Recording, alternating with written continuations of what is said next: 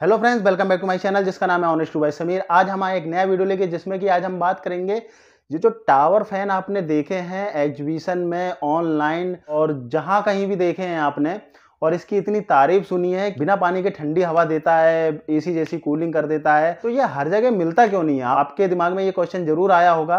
For example आपने कोई video देखा, और आपको ये अच्छा लगा।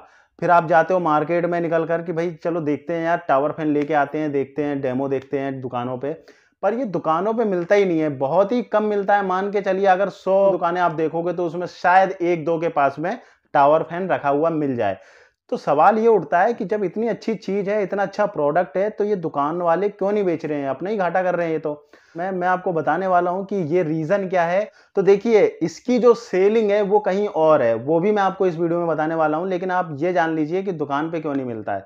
होता क्या है कि ये टावर फ़ैन जो है ये पूरी तरह से झूठ के बेस पे चलता है और झूठ के बेस पे ही इसको बेच सकते हो। अगर आप सच बोलकर बेचोगे ना तो ये बिचता ही नहीं है। रीजन ये है कि ये एक पंखा है और इसकी जो कॉस्टिंग है वो जो है सेल्समैन को मिल नहीं पाती इसलिए वो दुकान पे रखकर कम इंटरेस्ट करता है बेचने के लिए।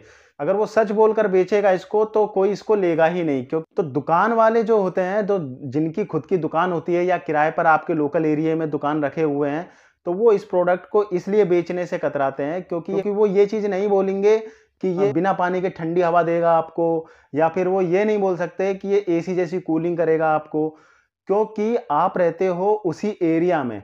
और आपको मान के चलिए झूठ बोल के उसने बेच भी दिया तो क्या होगा? सुबह लेके जाओगे और आधे घंटे बाद शाम को आप आ जाओगे, बोलोगे कि, भाई, क्यों पागल बना रहे हो? ये तो बिना पानी के गर्म ही हवा दे रहा है। इससे तो अच्छा मेरा टेबल फ़ैन है, पेडिस्टल फ़ैन है, छत वाला पंखा है, सेम वैसी हवा दे रहा है ये। तो रियलिटी जो है ना तो शॉपकीपर इस प्रोडक्ट के बारे में अच्छे से जानते हैं कि ये क्या प्रोडक्ट है।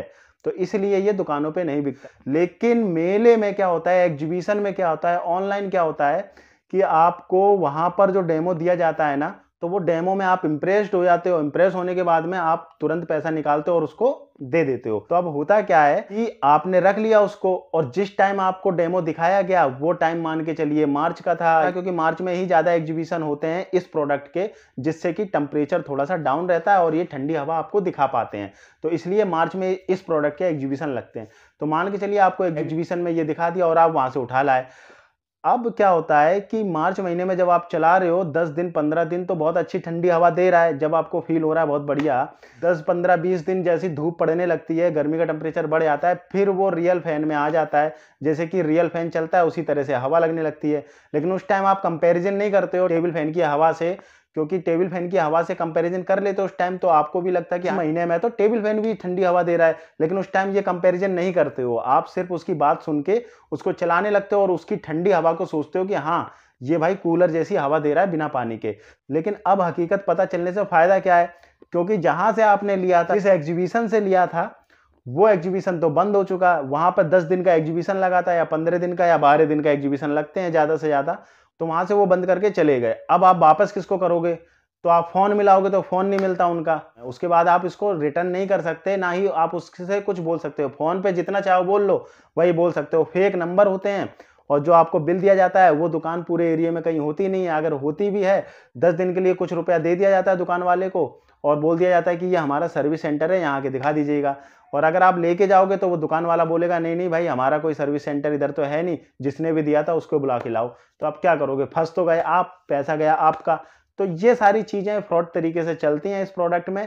दुकान वाले इसलिए नहीं रखते हैं क्योंकि उनको सच्चाई सारी पता होती है कि ये पंखा है और आपको वो कूलर बना के बेच नहीं सकते तो इसलिए वो दुकान वाले इसको रखते नहीं है क्योंकि वो तो इनका जो सबसे ज़्यादा सप्लाई होती है वो होती है फेरी वाले। फेरी वाले अगर आप जानते होंगे तो गली मोहल्ले में सेलमैन होते हैं, सेल्स करने आते हैं। कभी आपने देखा होगा कोई मिक्सी लेके आ रहा है, कोई कपड़े लेके आ रहा है, कोई कुछ लेके आ रहा है। तो जो गली मोहल्ले में मार्केटिंग करते हैं, सेलिंग करते हैं वो लोग इसको निकालते हैं, वो गाँव देहात जाकर इस प्रोडक्ट को स्कीम में लगाकर बेचते हैं और वहाँ पर सबसे ज़्यादा खपत होती है इस प्रोडक्ट की। और आप यकीन मानिएगा, ये बारह तेरह सौ रुपये का जो प्रोडक्ट है, ये लोग चार चार हज़ार रुपये पाँच पाँच हज़ार रुपये का बेचते हैं। और सिर्फ़ ये कह के कि भाई ये एसी जैसी हवा देगा, ये बिना पानी वाला कूलर है। चीज़ वो इस कॉन्फिडेंस के साथ इसलिए कहते हैं क्योंकि ये बिल्कुल मॉर्निंग में जाते हैं छः सात बजे के लमसम जाते हैं। तो आपको भी पता है छः सात बजे के लमसम जो टेम्परेचर होता है वो ठंडा ही होता है। तो पंखा भी चलाओगे ठंडी हवा देगा तो ये चलाते हैं तो ये भी ठंडी हवा देता है। तो गाँव में जो लोग रहते हैं वो फंस जाते हैं सस्ते के चक्कर में कि हमें चार पाँच हज़ार रुपये में एसी जैसा प्रोडक्ट मिल रहा है तो वो खरीद लेते हैं। फिर उसके बाद यही चीज़ होती है वो फ़ोन मिलाते हैं फ़ोन नहीं रिसीव होता है फिर यही चीज़ फ्रॉड हो जाता है उनके साथ में। तो ये रीज़न होता है, ये प्रोडक्ट दुकानों पे इसलिए नहीं बिकता है क्योंकि वो झूठ नहीं बोल सकते। तो ये जो प्रोडक्ट है, ये सिर्फ़ फेरी वाले सबसे ज़्यादा निकालते हैं, इसलिए ये प्रोडक्ट चल रहा है।